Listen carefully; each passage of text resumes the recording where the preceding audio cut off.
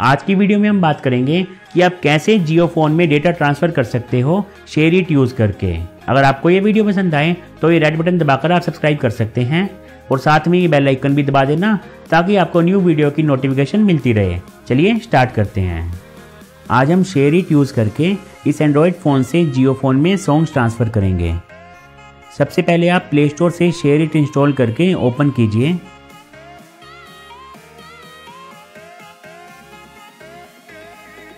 अब आपको left side पे ऊपर क्लिक करके मेन्यू ओपन करना है।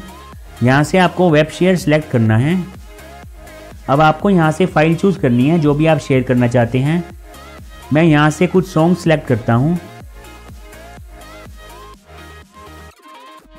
सिलेक्शन कंप्लीट होने के बाद आप सेंड पे क्लिक कर दो। इस फ़ोन से हॉटस्पॉट क्रिएट हो चुका है। अब आपको इस फ़ोन से अपना जियो फ़ोन कनेक्ट करना है। जियो फ़ोन की सेटिंग्स में आकर वाईफाई सिलेक्ट करें।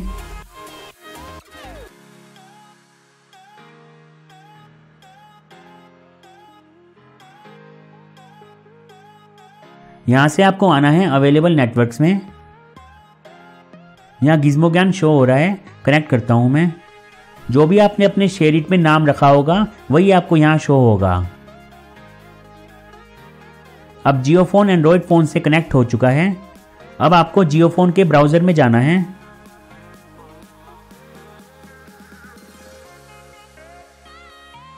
यहाँ एक आईपी एड्रेस टाइप करना है आपको। दूसरे फ़ोन में आप देखोगे तो आपको आईपी एड्रेस मिल जाएगा। ये आईपी एड्रेस है। मैंने ये आईपी एड्रेस जियो फ़ोन के ब्राउज़र में टाइप कर दिया है। ओके करता हूँ मैं।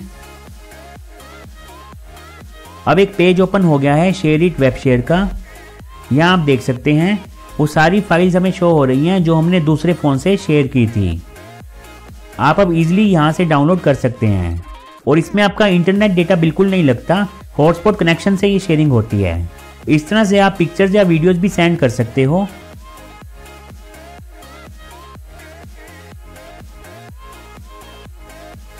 उम्मीद करता हूँ आपको इस वीडियो से कुछ हेल्प मिलेगी।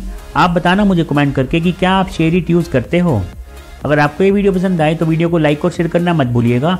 और अभी तक आपने चैनल को सब्सक्राइब नहीं किया तो कर लीजिए क्योंकि मैं आपके लिए और भी इंटरेस्टिंग वीडियोज़ लाने वाला हूँ। Thanks for watching this video